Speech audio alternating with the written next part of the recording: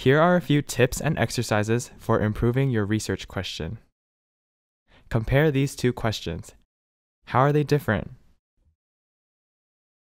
The second question is more focused. The first question is too broad to be researched. What genre of music? What aspect of mood? What people are being studied?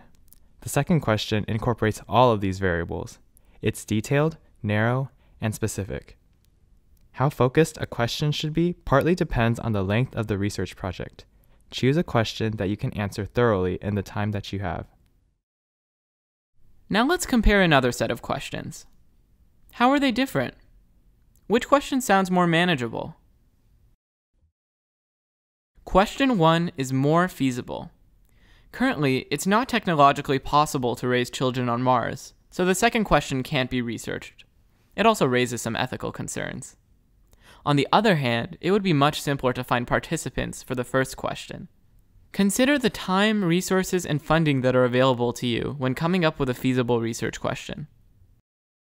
Let's look at the last pair of questions. How are they different? Which question would lead to more insights? Question 2 is appropriately complex, while question 1 could benefit from more complexity. Question 1 can be answered with only a number, but question 2 requires synthesis and analysis of many ideas and sources in order to provide an answer.